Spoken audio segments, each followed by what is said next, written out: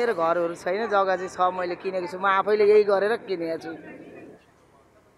कुन ठाउँमा किन्नु भएको छ कति किन्नु? छ गोठा टाढोमा छ चारजना छ। हामीलाई त बाबामाले छोरीलाई पढाउनु हुँदैन भन्थ्यो त्यतिखेर पढाइदिएन छोरा मात्रै पढाए। मलाई त अर्काले दिएको एउटा पानी पनि खान नखाइकन मरौँ भन्ने धारणा छ के खान्थेँ म त्यसरी म अहिलेसम्म म खाने कुनै छैन। मेरो छोरी पच्चिस दिनको भइदिएर मैले चिया पसल राखेको अहिलेसम्म यही चिया पसले थोरै खाने ठाउँमा धेरै खाने ठाउँमा थोरै नै खानु पऱ्यो थोरै खाने ठाउँमा धेरै नै खानु पऱ्यो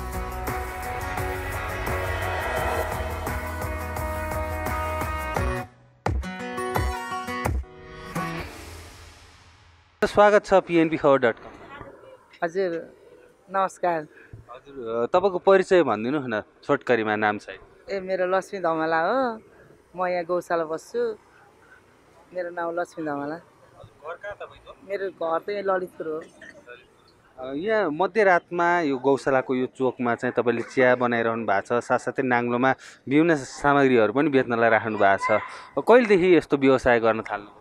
सोह्र सत्र वर्ष भयो मेरो। यही हो मेरो व्यवसाय यही हो। मैले बालबच्चा पालेकै यसैबाट हो। यही यसैबाट बच्चाहरू पढाउने खाने लाउने यही हो। सत्र वर्ष भयो। कसरी गर्नु भएको थियो? के के राख्नु पहिला सुरुमा चुरोट मात्रै राखेँ एक वर्षसम्म। एक वर्षपछि अब चुरोटबाट आएन आइस त भएन अनि त्यही भएर अहिले चिया चिया सबै आयो घर परिवारमा चाहिँ को को हुनुहुन्छ तपाईँको अहिले मेरो छोरा छ छोरी छ बुहारी छ। के गर्दै हुनुहुन्छ उहाँ उहाँहरू के गर्नुहुन्छ? सानो एउटा सानो सटर छ त्यसैमा काम गर्छन् उनीहरू। चिया सँगसँगै अरू के के सामान राख राख्नु भएको छ? एकपटक दर्शकहरूलाई भनिदिनु। चिया चुरोट खैनी सुर्ती पाउरोटी बिस्कुट यही मात्रै हो। सबै कुराहरू चाहिँ बेचिरहँदा कति आम्दानी गर्नुहुन्छ त तपाईँले? अनि कसरी गुजारा चलाउनुहुन्छ? जसरी तपाईँले छोराछोरी सबैलाई पढाइरहेको छ पनि भन्नुभयो। बच्चाहरू एउटा पढ्दैछ एउटाले पढ्न छोडिसक्यो। अब यहीबाट चलिरहेको छ अहिलेसम्म अब सोह्र सत्र वर्ष भइसक्यो यहीबाट चलिरहेको आम्दानी कति हुन्छ? यसो पा हजार बाह्र सय पाँच सय कहिले दुई सय पनि हुन्छ। अब आठ नौ तिन हजार चार हजारको बेच्यो भने पाँच सय रुपियाँ आउँछ त्यही ठ्याक्कै मध्यरात भएको छ यो समयमा। कति बजीदेखि राख्नुहुन्छ तपाईँले? म नौ बजीबाट राख्छु बिहान छ बजीसम्म। हजुर। दिनभरि गर्दाखेरि बाह्र चौध सय चाहिँ बचाउनुहुन्छ तपाईँले। बच्चा बाह्र पन्ध्र सय जति कहिले काहीँ कहिले काहीँ त हुँदैन त्यही पाँच सय जति बच्चा। अहिले धेरै पसल भइसक्यो पहिला एउटा दुइटा मात्रै थियो अहिले चार पाँचवटा पसल भइसक्यो अलिक कमै भइहाल्छ। यहीँ मात्रै बस्नुहुन्छ कि अन्यत्र ठाउँमा पनि जानुहुन्छ तपाईँ? म यहीँ नै हो मेरो त बाह्र प सोह्र सत्र वर्ष भयो म यहीँबाटै सुरुवात गरेको यहीँको यहीँ छु। यसरी पसल राखिरहँदाखेरि अहिले जस्तो रातको समयमा चाहिँ कस्ता कस्ता किसिमका ग्राहकहरू आउनुहुन्छ तपाईँको पसलमा? अहिलेसम्म त कसैले पनि केही भन्न सकेका छैनन्। हिँड्न त हिँड्छन् खाएर भागेर यताउता लाटलुट यहाँ केही हुँदैन। राम्रो छ सुरक्षित नै छ। अहिलेसम्म राम्रो छ। तपाईँले चिया पनि बेचिरहनु भएको छ विभिन्न सामग्री पनि बेचिरहनु भएको छ। यसलाई चाहिँ नाफामुखी भन्ने कि सेवामुखी भन्ने त? यसलाई अब हजुरहरूले देख्दाखेरि कस्तो लाग्छ? सेवामुखी जस्तो लाग्छ कि नागामुखी जस्तो लाग्छ? म चाहिँ सेवामुखी नै हो कि भन्छु। कसरी सेवामुखी भन्नुहुन्छ तपाईँ? अब सेवामुखी नै हो भने कहाँबाट राति राति बाह्र बजे एक बजे आउँदाखेरि पनि चिया पानी पैसा भएर पनि कहाँ खान पाइन्छ र यति गरेर कहीँ पाइन्छ? यहाँ नबस्यो भने कहाँबाट खानु? पैसा खानु भएन। भनेपछि तपाईँले सेवाको लागि दिइरहेको छु यो पसल राखिरहेको छु भन्नुभयो तर नाफा नभइकन त काम गर्नु भएन नि। त्यो त बालबच्चा मैले पाल्नु पऱ्यो खुवाउनु पऱ्यो त्यो रातिको निन्द्रा माया मार्नु पऱ्यो फ्रीमा त कहाँ खुवाउनु सक्छु त? त्यो त सकिँदै सकिँदैन त्यो त नाफा त चाहिएको नि एक दुई रुपियाँ नाफा नभए त कसरी काम गर्नु? श्रीमान के गर्नु? मेरो श्रीमान हुनुहुन्न। के भएको त्यो अलिकति घटना अलिकति बताइदिनु। उहाँ पनि अलिकति अलिक हुनुहुन्थ्यो अब अलिअलि खानुहुन्थ्यो तेह्र चौध वर्ष भयो। एघार वर्ष भयो बित्नुभएको हजुर। लागु पदार्थ दुर्व्यसनीकै कारण? हो। त्यही खाएरै उन्चालिस वर्षमै बित्नु भएको। तपाईँले आफ्नै यही पसलको मार्फतबाट चाहिँ जति आम्दानी हुन्छ अनि छोराछोरीलाई पढाइरहनु भएको छ एउटा छोरालाई चाहिँ एउटा बच्चालाई चाहिँ पढाउन सकिनँ भन्नुभयो। के कारणले त्यस्तो भयो? नपढिदिएर हो त्यो मैले नसकेर भन्दा पनि म जसरी पनि पढाउँथेँ ऊ पढेन आठ नौ पढेर त्यत्तिकै छोडिदियो उसले पढेन मानेर उहाँ अहिले केही गर्दैन ऊ पनि यही मसँग यसो यसो सघाउँछ चिया पसलमा त्यही हो। अब यही व्यवसायलाई नै निरन्तरता दिनको लागि तपाईँले छोरालाई पनि सिकाउँदै हुनुहुन्छ। अब यही त सिकाउनु पढाइ छैन जागिर खानलाई। अब हाम्रो ठुलो मान्छे कोही छैन काम लगाइदिनलाई अब त्यही त गरेर खानु पऱ्यो खानु पऱ्यो कस्तो सहज छ अब राति बस्नुहुन्छ अब ग्राहकहरू नि आउनुहुन्छ नगरपालिका अथवा प्रहरी प्रशासनबाट चाहिँ केही अप्ठ्याराहरू छन् तपाईँलाई? नगरपालिकाबाट त अप्ठ्यारै भएर राति राख्नलाई अब बिहान दिँदैनन्। प्रहरी सेवकबाट त बिचरा के भन्नु अब ठुल्ठुलाले गाली गरे गाली गर्ने नभए त अहिलेसम्म बचिएको छ। उहाँहरूले त केही नै त्यति भन्नुभएको छैन। के भन्नु अब गरी खाएका छन् भने छोडिदिए छोडिदिनु भएको छैन नभए त अहिले अब बन्द गरिदिनु सक्नुहुन्छ उहाँहरूको हातमा कुरो हो। ललितपुर तपाईँको घर भन्नुभयो। अब यहाँ ललितपुरदेखि आउनुहुन्छ कि कतै कोठा भाडा लिएर? कोठा लिएर बस्छु। मेरो देवरहरू सासू ससुरा उहाँ बस्ने हो। मेरो त घर बनाएको छैन घरै छैन। म भाडातिर बस्ने हो। कति भाडा तिर्नुहुन्छ कोठा भाडा कोठा भाडा मेरो छ सात हजार छ। सात हजार कोठा भाडा रहेछ? अब दिनको बाह्र चौध सय आम्दानी हुने। अनि कसरी म्यानेज गरिरहनु भएको छ? कसरी चाहिँ मिलाइरहनु भएको छ घर व्यवहार? त्यो त दुःख सुख टरिहाल्छ नि। अब आफूले अब थोरै खाने ठाउँमा धेरै खाने ठाउँमा थोरै नै खानु पऱ्यो थोरै खाने ठाउँमा धेरै नै खानु पऱ्यो आफ्नो आयस्ता अनुसार कमाइ अनुसार खानु पऱ्यो त्यही त। घर जग्गा जमिन केही छैन? मेरो घरहरू छैन जग्गा चाहिँ छ मैले किनेको छु। म आफैले यही गरेर किनेको छु। कुन ठाउँमा किन्नु भएको छ? कति किन्नु छ? गोठाटारमा छ चारना छ। हजुर। घर चाहिँ बनाउनु सके छैन भयो तेह्र वर्ष किनेको। किनेको तेह्र वर्ष भयो। यही व्यवसाय गरेर नै गरेर।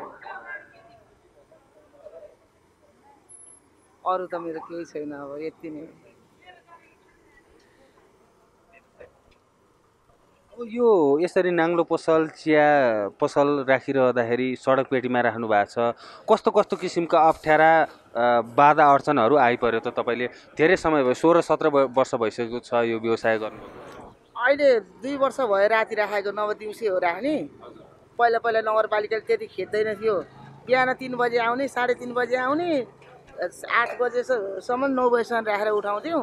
राति यसरी बस्दैन थियौँ। दिउँसो नगरपालिकाले नदिएको भएर राति बस्यो। अहिले राति बस्नु पऱ्यो तपाईँ जसरी यो व्यवसाय गरिरहनु भएको छ। अरू के के गर्न सक्नुहुन्छ? अरू पनि त गर्नुभयो होला विगतमा योभन्दा अगाडि। अरू पनि काम गर्नु भएको थियो। अरू मैले केही पनि गरेको थिएन मेरो बालबच्चा सानो सानो हुँदादेखि मैले मेरो छोरी पच्चिस दिनको भइदिएर मैले चिया पसल राखेको। अहिलेसम्म यही चिया पसल सत्र वर्षकी भयो छोरी अहिले बाह्र बाह्र पढ्दैछु। प्राइभेटमा पढ्दै हुनुहुन्छ कि सरकारीमा? सरकारीमा प्राइभेटमा कसले पढाउन सक्ने? यस्तो नाङ्ले पसल गरेर तपाईँले यहाँसम्म त लिएर आउनुभयो छोराछोरीलाई छोराले आठ कक्षा पढ्नुभयो त्यसपछि पढ्नु सक्नु भएन भन्नुभयो। छोरी बाह्र कक्षा पढ्दै हुनुहुँदो रहेछ। के बनाउन चाहनुहुन्छ छोराछोरीलाई चाहिँ? अब भविष्यमा गएर यसो बन्दैदेखि हुन्थ्यो भन्ने तपाईँको मनसाय होला नि। आफ्नो बाबाआमालाई छोराछोरी ठुलै बनाउन मन हुन्छ नि? ठुलो बनाउँछु भनेर भएन। हाम्रो पुग्दैन पावर पुग्दैन पढाइ छैन छोरोले पढेन। आठ कक्षा पनि पास गरे छैन त्यत्तिकै छोडिदिइहाल्यो। अब के के होला र त्यसमा? केही न केही। यही व्यवसाय गर्छ खान्छ भने। अरू त जागिर खाँदा पढाइ चाहिँ के तपाईँ आफैले चाहिँ कति पढ्नु भएको? मैले त छैन क पनि पढाएको छैन स्कुलै टेकेँ होइन हामीलाई त बाबाआमाले छोरीलाई पढाउनु हुँदैन भन्थ्यो त्यतिखेर पढाइदिएन छोरा मात्रै पढाएँ। छैन मैले त स्कुलै नटेकेँ। नपढे पनि व्यवसाय चाहिँ गर्न सकिँदो रहेछ आम्दानी गर्न सकिन्छ भन्नुहुन्छ तपाईँ? हजुर व्यवसायलाई त सकिन्छ। यसो अलिअलि हिसाब किताब आयो भने त आइहाल्यो नि। व्यवसाय त गर्न सकिहाल्छ। अब यदि तपाईँको छोरा पढ्न चाहनुभयो भने पनि उहाँ पढ्न सक्नुहुन्छ। पढ्न नमानेर हो त्यसले। पढ्न मानेको भए मैले दुःख सुख गरेँ नि म पढाउँछु नि भनेको। ऊ पढ्दै नपढेको। मैले बोर्डिङमा होस्टेल राखेको थिएँ। छ वर्षसम्म होस्टेल राखेर पढाएको। होस्टेल होस्टेलमा सात पाँच त गरेर त्यहाँदेखि भागेको भागे गरेर नपढ्या त्यसले। त्यसलाई नपढाउनु मैले खोजेको होइन पढाउन खोजेको नपढ्या। पढ्नै नमानेको अहिले सरकारले यो सडक पेटीमा चाहिँ यस्तो खुला ठाउँमा पसल नराख्ने अ, अब महानगरपालिकाले पनि त्यही विषयमा कुरा उठाइरहेको अवस्थामा चाहिँ तपाईँले यो विषयलाई कसरी लिनु भएको छ के भन्नुहुन्छ? अब म अब के गरी सोच्नुपर्छ त्यो कुरा त फेरि। सोच्नै पर्छ अहिले त सोचे होइन? अब अहिलेसम्म दिइरहेछ अब यो सडक पेटीमा राख्न दिएन भने चाहिँ के गर्नुहुन्छ त तपाईँ? राखिदिएन भने सानोतिनो पसल खोज्ने बस्ने। अब के गर्नु? सानोतिनो पसल हामीले नि खोजी भेटिहालिन्छ नि यसो सानो एउटा खोज्ने सटर। त्यही त भाडा तिर्नु परेको छैन पसल लिएपछि त भाडा पनि तिर्नु पर्ला। भाडा तिर्नुपर्छ अब भाडा तिर्नु पर्ने बच्चाहरू अलिक ठुला भयो यसो ज्यामी काम भने नि गरेर खाउँला नि अब के हो? म चाहिँ सक्दिनँ। छोराले पाल्ला नि अब त अठार बिस वर्ष भयो। कस्तो छ तपाईँको? मेरो त स्वास्थ्यलाई त सब ठिक छ राम्रो छ अहिलेसम्म। अहिलेसम्म यस्तो जाडामा बसिरहेको छु। अहिलेसम्म सोह्र सत्र वर्ष भयो नाङ्रे पसल गरेर खाइरहेको छु। अहिलेसम्म सन्चै छ। सटर भाडामा लिएर पसल राख्नुभयो भने चाहिँ अब यो चिया पसल अनि यो चुरोट गुट्खाहरू मात्रै बेच्नुहुन्छ कि अरू कुराहरू पनि राख्नुहुन्छ? अब राख्दै लाँदाखेरि अब सकियो भने अब थोक पनि राख्नुपर्छ। सटर भाडा नि त ओत्नु पऱ्यो चिया चुरोटले मात्रै ओत्दैन। भाडा तिर्नुपर्छ।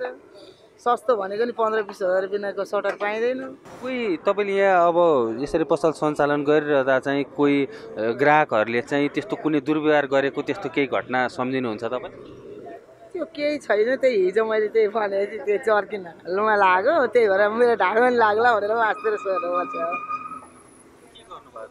केही गरेन मैले के उसले नि बिचरा जानेर होइन त्यत्तिकै सिधा उता जाने खोज्दाखेरि जर्किनमा लागेको। केही भएन मलाई लाग्यो होइन। जर्किनमा लाग्यो कति वर्षको हुनुभयो तपाईँ? म पैँतालिस वर्ष। पैँतालिस वर्षको हुनुभयो। अहिले पैँतालिस वर्ष त के तिस पैँतिस वर्षदेखिको उमेरका व्यक्तिहरू पनि जो चाहिँ एकदम शारीरिक रूपमा सक्त छन् केही गर्न सक्छन् उनीहरू चाहिँ मागेर बसिरहेको अवस्था छ। यसलाई चाहिँ कसरी लिनु भएको छ? तपाईँले के भन्नुहुन्छ उहाँहरू? उहाँहरूलाई के भन्नु? उहाँहरूले अब आफ्नो आफ्नो आफ्नो दिमाग अनुसारको काम गर्ने हो। काम गरेर खाए सकिहाल्छ नि तै पनि काम दिनेले पनि दिनु पऱ्यो नि।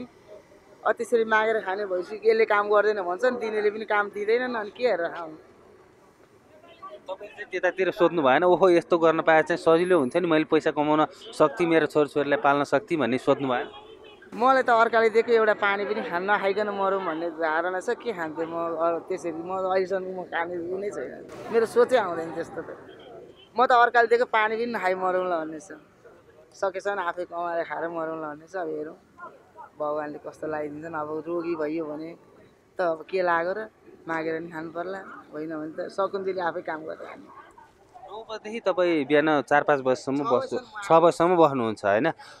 कति कप चिया बेच्नुहुन्छ सर त? त्यही यति उति भनेर हिसाब किताब हुँदैन यसो बेचिन्छ दुई तिन हजार पैँतिस सय चार हजारसम्म। हामी अन्तिम अन्तिमतिर पनि छौँ। अन्तिममा चाहिँ केही भन्न चाहनुहुन्छ केही सन्देश दिन चाहनुहुन्छ? अब के भन्नु अब? म त अब व्यवसाय गरेको अब यही बाह्र चौ सोह्र सत्र वर्ष भयो यहीबाट यहीबाट खाएको छु यहीबाट लाएको छु अब यही दुःख गरेको छु अब हामीलाई कसले के गरिदिन्छन् र केही भनेर कसलाई भनेर नि केही हुने होइन कसैले के गरिदिन्छ पैँतालिस वर्षको हुनुभयो तपाईँ अन्तिममा म एउटा प्रश्न राखेँ जिन्दगी चाहिँ के रहेछ कस्तो लाग्यो तपाईँले पैँतालिस वर्षको अनुभवले के भन्छ? जिन्दगी त यही खतम हो केही होइन जिन्दगी केही नै होइन। मेरो लागि चाहिँ केही पनि होइन। छ हुने मान्छेलाई छ जिन्दगी नहुनेलाई छैन।